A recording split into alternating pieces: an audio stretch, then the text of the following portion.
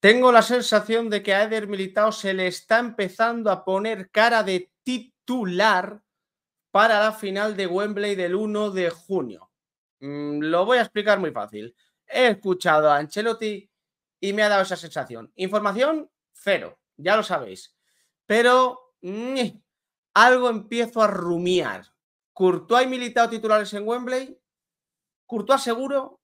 ¿Militao cada vez más opciones? Al Leo.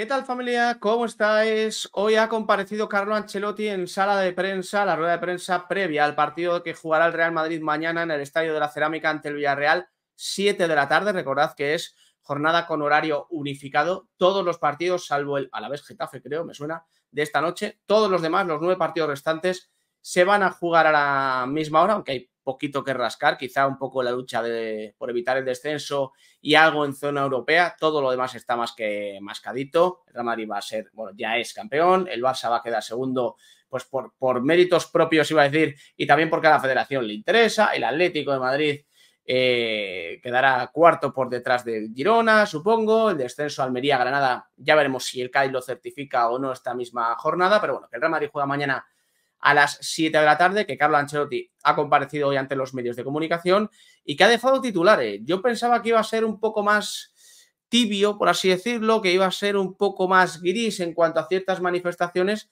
pero ha dejado pildoritas que yo considero muy interesantes.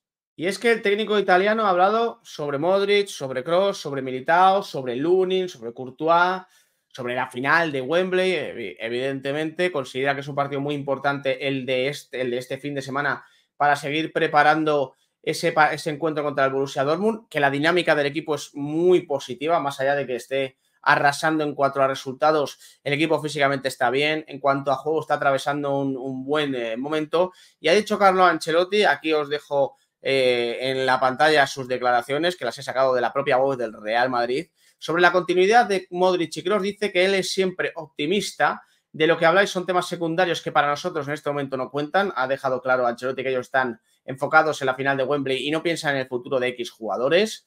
Dice que nunca ha tenido un problema con Modric porque antes de ser un jugador de nivel top, uno de los mejores medios del mundo, es aún más espectacular como persona. Sobre la portería dice que no hay debate y que como él ha dicho, las dudas las tienen, en este caso, la prensa. Lunin ha hecho una temporada fantástica, nos ha ayudado mucho para llegar a la final y Courtois está volviendo a ser lo que era antes, el mejor portero del mundo. Ha subrayado aquí Carlo Ancelotti que ha anunciado que mañana será Lunin el titular ante el eh, Villarreal. Sobre la transición entre jóvenes y veteranos, ha dicho Carlo Ancelotti que hasta ahora ha sido una transición suave, que puede seguir siéndola o no. La transición sigue también, evidentemente, el próximo año. Como Cross ha dejado, eh, o en cuanto a Cross ha dejado una respuesta bastante simpática el bueno de Carlo Ancelotti. Le han preguntado que cómo es Cross y dice, como persona es alemán, como yo que me siento muy alemán en este sentido. No hablo mucho, prefiero escuchar y creo que él es así. Cuando tiene que decir algo lo dice con mucha claridad. También es una persona con pocas dudas, es bastante claro, honesto y sincero. Es un perfil de persona que me gusta porque yo también me siento un poco alemán. No ha querido desvelar absolutamente nada sobre el futuro de Tony Cross e, evidentemente también porque Cross no ha anunciado ni siquiera al Real Madrid qué va a hacer a partir del 30 de junio que se le acaba su contrato. Y ya por irnos a un punto que me parece muy interesante, bueno, sobre Xavi ha dicho que es muy complicado hablar, que le tiene mucho respeto, tal. El tema de Militao, titular en la final de Wembley, dice Carlo Ancelotti, por lo que he visto en los últimos partidos, Militao está muy cerca del 100%.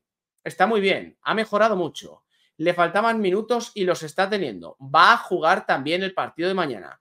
Le veo muy cerca de su mejor nivel y obviamente es una opción que tenemos el que pueda jugar.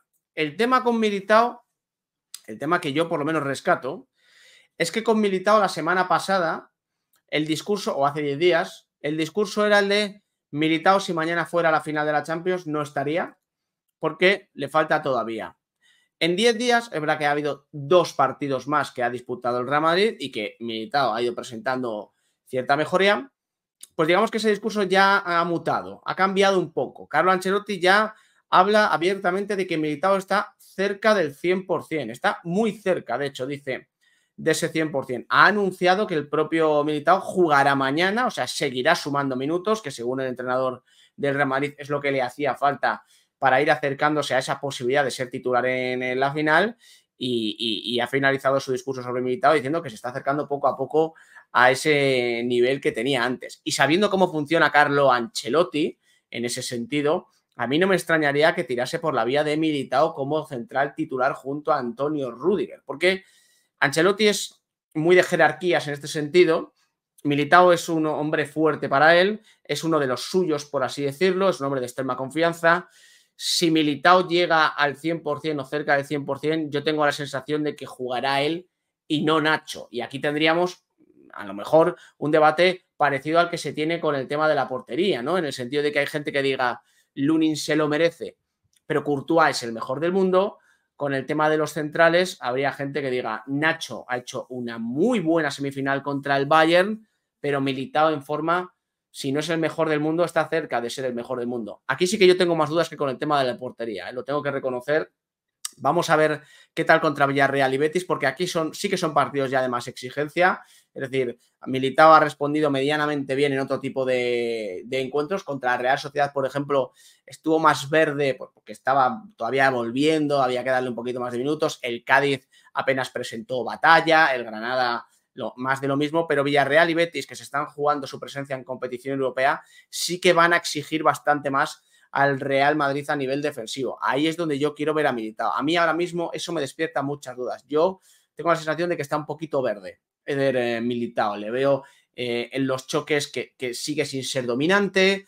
Eh, sí que le veo en el tema de excursiones, siempre llamo excursiones a esas salidas que hace él, esas galopadas a campo abierto, tal. Le veo bien, le veo físicamente preparado en ese, en ese sentido. Hace muchos giros de pierna, tal, para ir probándose. Eso lo veo bien. Pero todavía le cuesta en el uno contra uno y en el tema de contacto físico con, con rivales yo tengo la sensación de que anda todavía un poco al límite. Por eso digo que Villarreal y Betis son dos piedras de toque bastante importantes para que Militao se pruebe de cara a esa final. Y esto sí que lo tengo claro. Si Ancelotti ve que Militao está cerca del 100%, lo va a poner.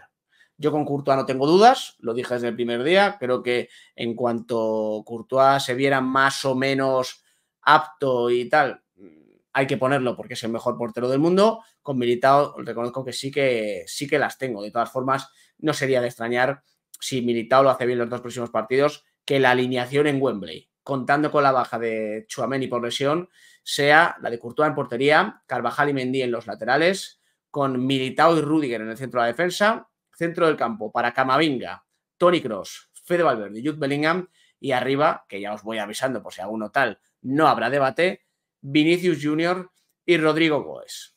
Así que hasta aquí este vídeo cortito, con la última hora la actualidad del Real Madrid, no ha desvelado cosas sobre el futuro de Kroos y Modric, sí que pildoritas como que mañana va a jugar Lunin, que jugará militado.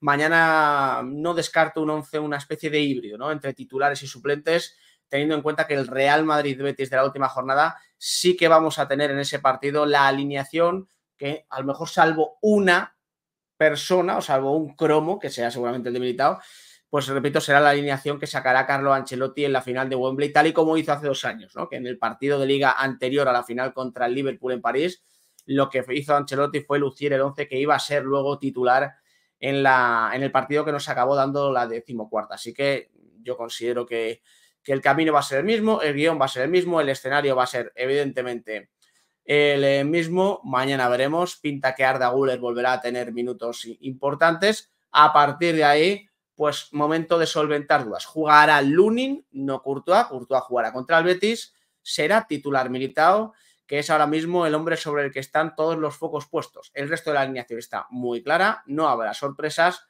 La duda a día de hoy, si militado o Nacho. Mañana militado tendrá una nueva oportunidad para ir disipándolas o aumentándolas. Al final ha tenido una lesión muy grave, muy difícil y es normal que todavía esté la cosa un poquito en el alambre. Gracias por acompañarme. Nos vemos en el siguiente.